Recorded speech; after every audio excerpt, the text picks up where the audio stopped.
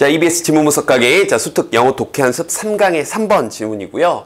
아, 이런 뭐 과학 관련, 뭐 생물학 관련 내용 나오면 뭐 문과건 이과건 우리 친구들 괜히 또 어렵죠. 어, 선생님이 조금 이따가 또 예를 간단하게 좀 들어 드릴 텐데 이걸 끝에 이제 두 문장도 예시가 나와 있죠. 그래서 그 예시를 가지고 이해를 하면 조금 더 편할 것 같아요. 자, 일단 첫 문장 한번 읽어 보겠습니다. 일단 읽은 일단 도입부가 나오고요. 그 빈칸 뚫려 있던 그 문장을 중심으로 주제문이 형성이 돼 있고 끝에 가서 예시를 주, 주는 도입, 주제, 예시 가장 전형적인 구조의 글입니다. 자, 출발해 볼게요. A trait. 물론 이제 이 trait라는 단어가 직접적인 뜻은 특징, 특성 이런 뜻인데 여기 문맥이 뭐 어떤 이제 생물학적인 이야기다 보니까 뭐 유전 형질 뭐 이렇게 저 의역이 좀 되어 있죠. 자, 그, 그 여러분 그냥 직역하셔도 됩니다.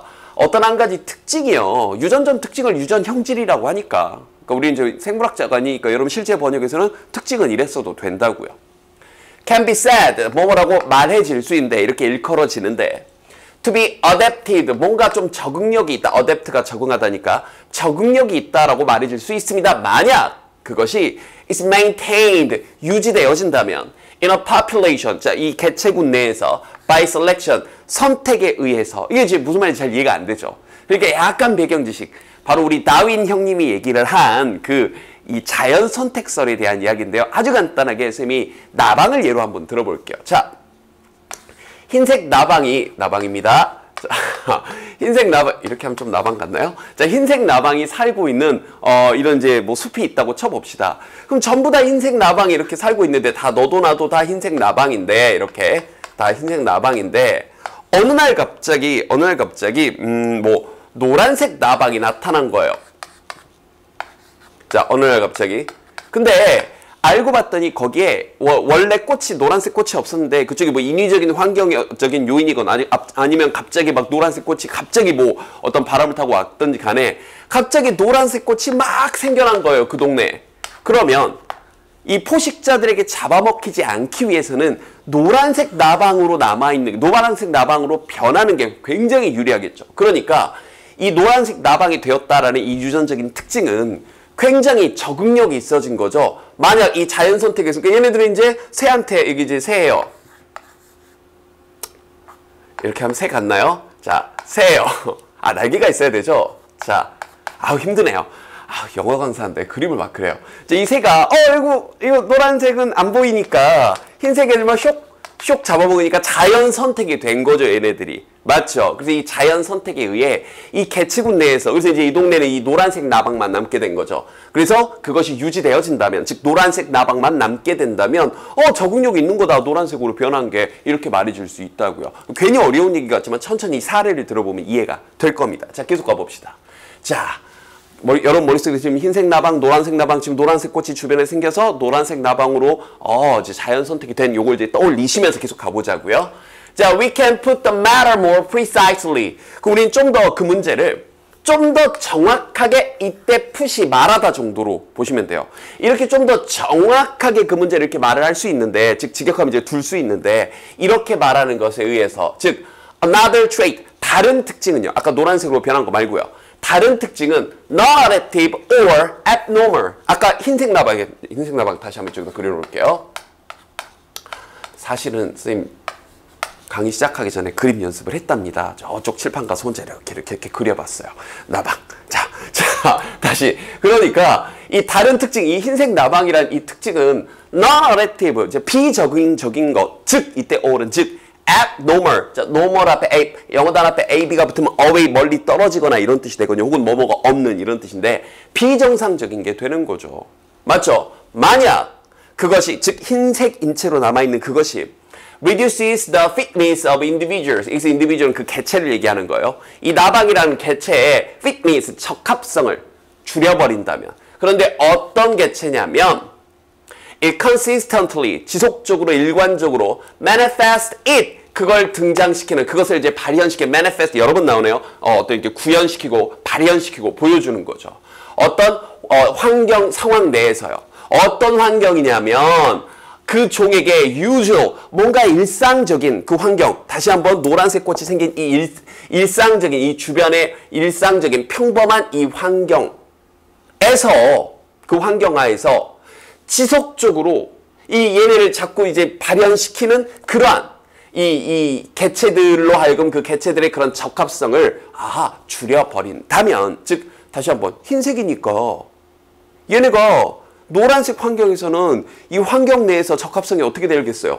줄어들어 버리겠죠. 그럼 여기는 reduce는 어휘 문제 내기 너무 좋겠죠. 그래서 이런 이, 이 개체의 적합성, 그래서 개체의 적합성이란 말을 참 어렵게 이해, 쭉 들을 때 이해가 안 되잖아요. 그러니까 그 개체의 적합성, 개체 생존이라고 의역을 하시면 된다고요. 그럼 느낌 바로 오죠. 아, 이 나방이라는 개체 생존을 줄여버린다면 됐나요?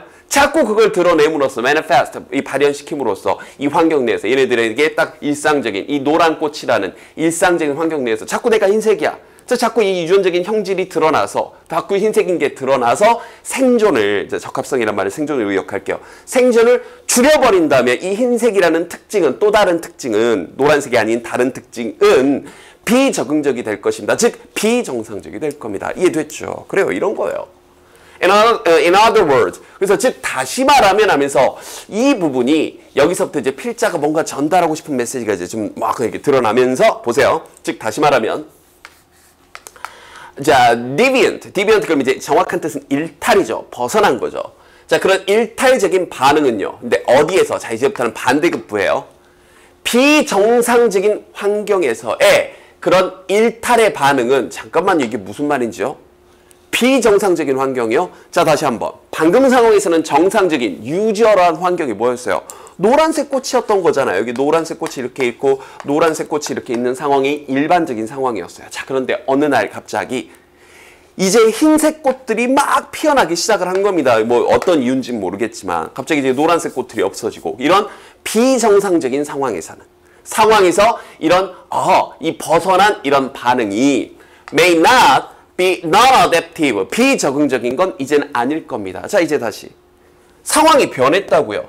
그럼 아까 봤던 이, 이 흰색 나방은 원래는 얘는 이제 살아남을 수 없는 아 이단화 같은 존재였던 거잖아요. 너 왜 노란색으로 안 변하니? 근데 이제 상황이 변했어요. 비정상적인 상황이 된 거예요. 그죠? 그러면 이 비정상적인 상황에서는 이러한 일탈에 얘는 원래 일탈적인 존재였던 거잖아요. 벗어난 존재였던 거잖아요. 남들 다 노란색인데 이 벗어난 존재의 그런 반응이 벗어난 반응, 즉 흰색이란 그 반응이 이제 더 이상 비적응적인 게 아니겠죠. 이제 상황이 또 변하게 된다면. 즉 그들은 단순히 reflect flexibility 이런 것도 빈칸 내기 너무 좋죠. 뭘 보여주는 거냐? 반영하는 거냐? 바로 유연함이요. 상황이 뭔가 이렇게 유연하게 바뀌었다라는 걸 나타내는 거죠.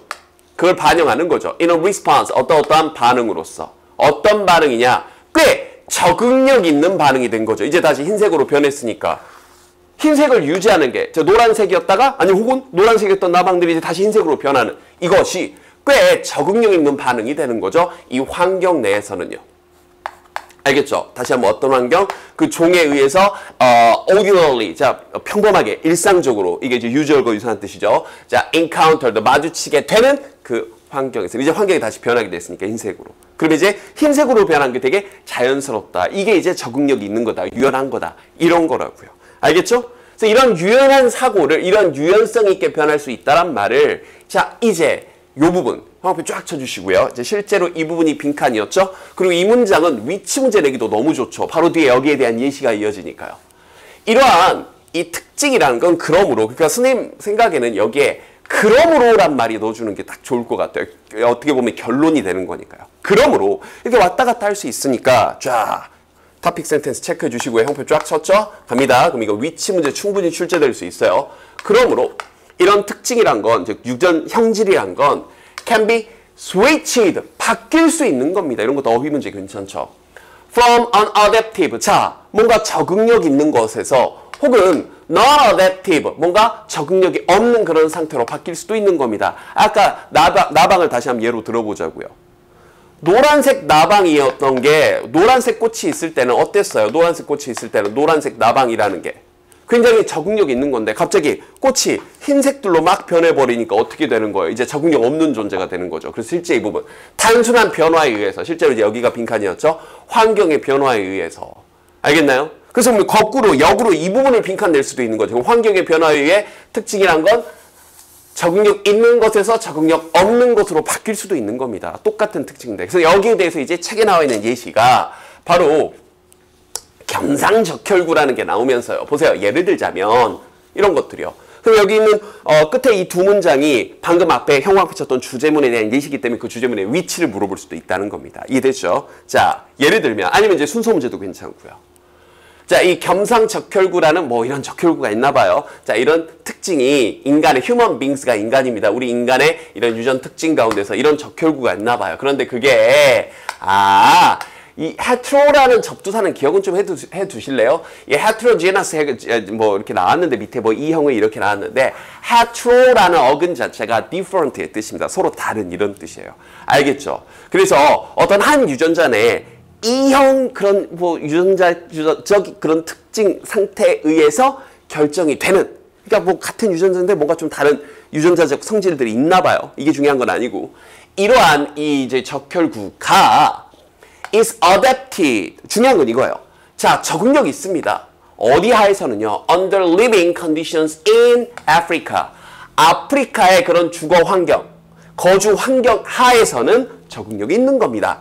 근데 그곳에서는 관계부사가 나오면서 it confers 이제 그런 적응 이런 유전 형질을 얘기하는 거죠. 이런 유전 형질이 confers 좀 전달을 해주는데 some degree of resistance 어느 정도의 디그린 정도죠. 어떤 저항력을 제공을 해줍니다. 아, 그 동네에서 좀 어, 무시무시한 질병인 어, 열대 말라리아 여기에 대해서는 저, 어, 떤 저항력을 주는 거예요. 그럼 거기서 내 이런 겸상적혈구라를 가지고 있는 것이 아프리카에서 사는 데 있어서는 어때요? 음, 굉장히 적응력이 있는 거죠. 반면에 그럼 여기 이제 그러나 반면에 이런 연결사가 생략됐다고 생각하시면 돼요. 반면 여기 이제 African American이 이제 우리가 흔히 흑인이라고 표현하는 거죠. 아프리카 해설지 보면 아프리카계 미국인이라고 이제 직역을 했던데, 네, 그러니까 이게 흑, 우리가 얘기하는 흑인 물론 이제 사람의 어떤 색깔 들어간 표현이 좀 좋지 않습니다. 그래서 여러분들 black이란 표현 안 쓰시고 그다음에 n으로 시작하는 그 무시무시한 단어 있죠. 흑인들 비하하는 표현들 안 하시는 게 좋은 게 아니라 하지 말아야 될 말인 겁니다. 이렇게 표현하셔야 돼요. 알겠죠? 아프리카계 미국인들 이렇게요. 됐나요? 어찌됐건 자 그래서 근데 이 똑같은 혈통인 사실 미국에 살고 있는 대다수의 흑인은 사실은 어, 이 아픈 역사를 가지고 있는 거죠. 아프리카에서 노예로 팔려온 거니까 그 조상님들이 그래서 이런 이, 이 아프리카계 미국인의 이런 혈통에서 반면에 그것은 이제 더 이상 non-adaptive, 이제 적응력이 없는 겁니다. 어떤 단순한 이유로요. 어떤 단순한 이유냐면 그러면 이 부분은 여러분 앞뒤 내용을 추론했을 때 충분히 추론할 수 있는 내용이기 때문에 왜 더 이상 이제 이득이 되지 않고 이제 비적응적이 된 거냐? 바로 이런 내용 빈칸으로 낼 수 있는 거죠. It matters. 여기서 이치는 이제 그런 유전자, 겸상 유전자의 이러한 better, 이제 bear가 참다, 견디다 이런 뜻이 있거든요. 그래서 bear 하게 되면 이제 가지고 있는 사람, 이런 보유자들이 더 이상 증명하지 않으니까요. 뭐에 의해서? 더 이상 그런 말라리아는 미국 땅에 없잖아요. 근데 흑인들에게 그런 적혈구 세포가 있단 말이에요. 그럼 그건 더 이상 적응력 있는 게 아닌 거죠. 더 이상 우리 더 어, 쓸데가 없는 거죠. 생존에 방해가 되는 거니까. 이해됐나요? 그래서 괜히 쉬운 내용인데 괜히 좀 어렵게 막 겸상 적혈구가 나오고 막 적응력 있네 없네 하면서 환경이 바뀌네 안 바뀌네 하면서 괜히 어려웠을 텐데 방금 들었던 꽃이 흰색이었다가 노란색으로 바뀌었다가 다시 흰색으로 바뀌는 그런 상황들도 떠올려 보시고요. 여기도 아프리카에 살고 있을 때는 그, 그 적혈구 세포를 가지고 있는 게 유리한데 생존에 유리한데 사실 미국 땅에서는 생존이 유리하지 않다. 이런 식으로 간단하게 이해를 하시면 되는 거였습니다. 주제문의 위치 주의하시고요. 주제문의 내용을 바탕으로 이 내용 추론하는 빈칸 문제로도 나올 수 있다는 거 이해되죠?